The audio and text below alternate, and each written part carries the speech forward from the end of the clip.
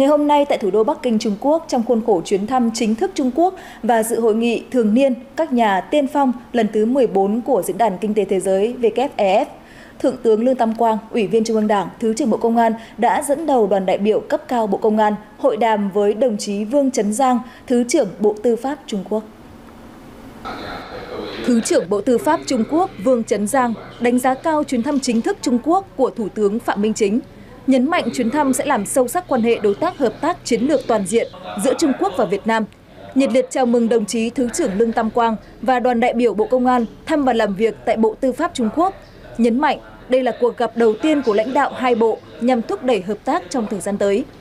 Thay mặt đoàn công tác Bộ Công an Việt Nam, Thứ trưởng Lương Tam Quang trân trọng cảm ơn đồng chí Thứ trưởng Bộ Tư pháp Trung Quốc đã dành thời gian tiếp đoàn và dành cho đoàn sự đón tiếp chu đáo trọng thị.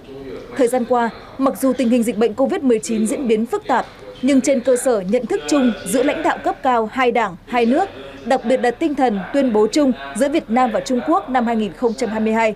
quan hệ đối tác hợp tác chiến lược toàn diện giữa Việt Nam và Trung Quốc theo phương châm 16 chữ và tinh thần bốn tốt đã đạt nhiều thành quả tích cực, thực chất. Bộ Công an Việt Nam và Bộ Tư pháp Trung Quốc đã triển khai một số nội dung hợp tác trên lĩnh vực chia sẻ thông tin, tình hình về phạm nhân hai nước đang chấp hành án phạt tù ở mỗi nước, trao đổi đàm phán chuẩn bị ký kết hiệp định chuyển giao người bị kết án phạt tù.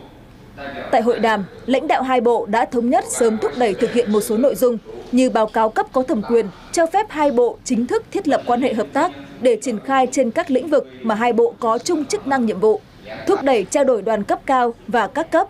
Hai bộ sẽ tạo mọi điều kiện thuận lợi để các chuyến thăm của lãnh đạo hai bộ, Bộ Công an Việt Nam và Bộ Tư pháp Trung Quốc đến mỗi nước thành công tốt đẹp. Hai bên nghiên cứu xây dựng, ký kết văn bản hợp tác, tạo khuôn khổ pháp lý để triển khai hợp tác trên các lĩnh vực chung. Bộ Tư pháp Trung Quốc quan tâm hỗ trợ tối đa đảm bảo quyền lợi ích hợp pháp đối với số phạm nhân quốc tịch Việt Nam đang chấp hành án phạt tù tại các cơ sở giam giữ ở Trung Quốc. Hai bên đẩy nhanh tiến độ đàm phán, ký kết hiệp định chuyển giao người bị kết án phạt tù Việt Nam Trung Quốc để thực hiện việc chuyển giao các phạm nhân có nguyện vọng về nước chấp hành án trên tinh thần nhân đạo.